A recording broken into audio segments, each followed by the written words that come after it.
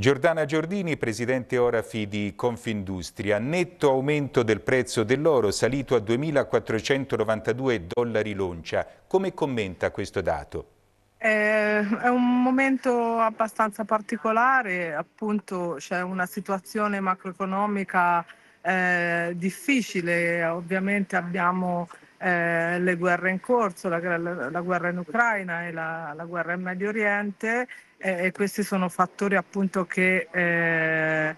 ne, ne fanno, risentire, fanno risentire appunto oscillazioni al prezzo dell'oro, ma soprattutto i dati della Federal Reserve americana eh, che eh, riducendo l'inflazione eh, stanno, insomma, l'oro eh, sale notevolmente. Si prevedono appunto nei prossimi mesi, soprattutto fino alla fine dell'anno, dei, forzi, dei forti innalzamenti del, del prezzo dell'oro e comunque di sicuro non un calo a breve. Ecco, quindi questo comporta per noi orafi soprattutto le oscillazioni appunto come quella che lei citava, quella che si è registrata in questo fine settimana, eh, delle tensioni con i nostri clienti, quindi una difficoltà a lavorare. Ora le aziende sono chiuse, e riprenderemo appunto alla fine di agosto, abbiamo subito una fiera eh, importante che è quella di Vicenza i primi di settembre, che quella sarà diciamo appunto il termometro per eh,